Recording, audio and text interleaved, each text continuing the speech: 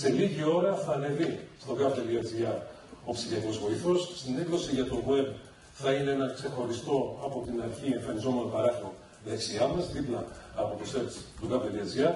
Στην έκδοση για το κινητό είναι αυτό το οποίο βλέπετε, όπου πατώντας εδώ πέρα πλέον ανοίγει το παράθυρο κανονικά και μπορούμε να κάνουμε τη δουλειά μας. Η τεχνητή νοημοσύνη απαιτεί υπολογιστική ισχύ, υπάρχει πολύ, πάρα πολύ, αλλά δεν υπάρχει άπειρη. Οπότε έχουμε φτιάξει και ένα μηχανισμό, ο οποίος πρώτον περιορίζει για αρχή τα sessions στα 5 λεπτά, προκειμένου να μην μείνει κάποιος μέσα και ρωτάει και ρωτάει και ρωτάει. Είναι σαφές σε όλους ότι δεν μιλάνε με άνθρωπο, αλλά με μηχανή. Ό,τι προβλέπεται, αν θέλετε, και στο Act, το οποίο ειδικά αυτό το τονίζει ότι θα πρέπει να γνωρίζει ο πολίτης ε, ποιες είναι οι δυνατότητες του μηχανήματος. Άρα, ας πάμε λοιπόν να ξεκινήσουμε μια νέα συζήτηση. Ε, λειτουργολόγηση ή δέχεται και φωνική κλίση πατώντας στο μικροφωνάκι. Σας περιγράφει την προφανή διαδικασία που γνωρίζετε και εσείς στο ηλεκτρονικό ραντεβού με τους κολλητού στο τάξη. Περιγράφει όλη τη διαδικασία. Είναι αυτή. Οπότε μας συμβουλεύει να προσέξουμε και να μην δίνουμε μην μοιράζουμε τέτοιου τους κωδικού.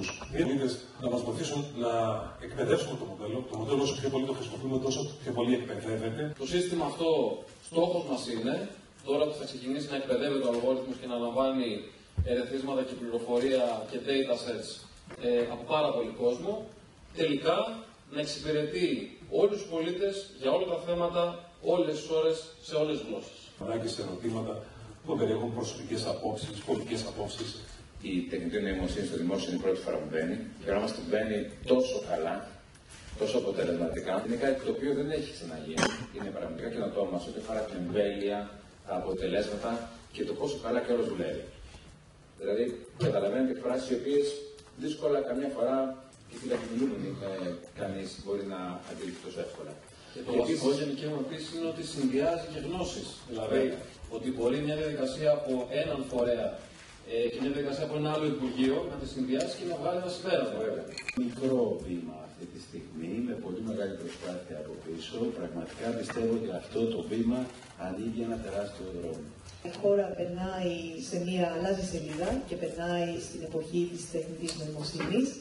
Είναι πάρα πολύ θετικό που η κυβέρνηση είναι από τις πρώτες πράγματι και τα δικά μας στοιχεία αυτά αυτό δείχνουν στην Ευρώπη που αγκαλιάζει τη νέα τεχνολογία ε, και που μας έχει συμπλοηγό σε αυτή την προσπάθεια. Ε, η τεχνολογία που χρησιμοποιούμε είναι το Azure OpenAI, είναι τεχνολογία εχμής, όπως ξέρετε η Microsoft ηγείται στον χώρο της τεχνητής νοημοσύνης και προβλέπει την ε, αλληλοεπίδραση του ανθρώπου με τον υπολογιστή με ασφαλή και υπεύθυνο τρόπο. Τελικά την απάντησή του. Εδώ πέρα βλέπεις ότι πλέον μιλάμε σε τελείως φυσική γλώσσα και θέτουμε ένα ερώτημα με κοκκίνο ρήμα αντί. Okay.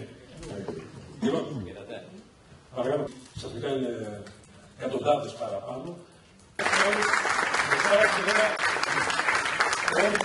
Παρουσιάστηκε σήμερα η επόμενη μέρα του GAV.gr. Το GAV.gr έχει αποδείξει πόσο χρήσιμο είναι και ψηφίστηκε ως ένα από τα πιο χρήσιμα εργαλεία στην ελληνική αγορά, το πιο χρήσιμο εργαλείο της ελληνικής κυβέρνησης και πλέον περνά σε μια εποχή όπου χρησιμοποιεί τεχνητή νοημοσύνη. Προσπαθεί να βοηθήσει τους πολίτες οι οποίοι ψάχνουν μια ψηφιακή υπηρεσία ή διαδικασία και πιθανώς δεν ξέρουν πού ακριβώς να τη βρουν. Χρησιμοποιώντας φυσική γλώσσα ή εκφωνώντας απλά αυτό το οποίο θέλουν, τους παρέχει όλη την πληροφορία προκειμένου να επιλέξουν τα επόμενα ψηφιακά βήματά τους. Η τεχνητή νοημοσύνη δεν έρχεται να κάνει τη ζωή των πολιτών πιο δύσκολη, του αντίον έρχεται να βοηθήσει τους πολίτες να βρουν πιο εύκολα αυτό το οποίο ψάχνουν. Μάλιστα πλέον δεν χρειάζεται να έχουμε καμία ειδική γνώση, παρά μόνο να γράψουμε σε φυσική γλώσσα, ακόμα και καμιά φορά λίγο ανορθόγραφα, αυτό το οποίο θέλουμε, έχει την ευφυΐα να μας απαντήσει και να μας καθοδηγήσει. Άρα η τεχνολογία θα πρέπει να έρχεται και να συμπληρώνει τον πολίτη, να τον βοηθά, όχι να αποκτήσει απαραίτητα νέες δεξιότητες, αλλά με αυτές που έχει ή και με λιγότερες ακόμα, να περιηγηθεί, να εξυπηρετηθεί αποτελεσματικά, να κερδίσει ακόμα περισσότερο ένα κομμάτι εμπιστοσύνης, αυτό το οποίο λείπει πολλές φορές ανάμεσα στην επαφή του πολίτη με το κράτος. Το μοντέλο θέλει επιμόρφωση από τον κόσμο και όχι ο κόσμος από το μοντέλο. Γι' αυτό και είναι μια δοκιμαστική έκδοση. Η μηχανή αυτή, το μοντέλο αυτό μαθαίνει από τις πολλαπλές ερωτήσεις, μαθαίνει από τον τρόπο που απαντά και τη βαθμολογία που υπάρχει, προκειμένου να γίνει ακόμα πιο ακριβές. Συνεπώς, οι πολίτες είναι αυτοί οι οποίοι θα εκπαιδεύσουν το μοντέλο.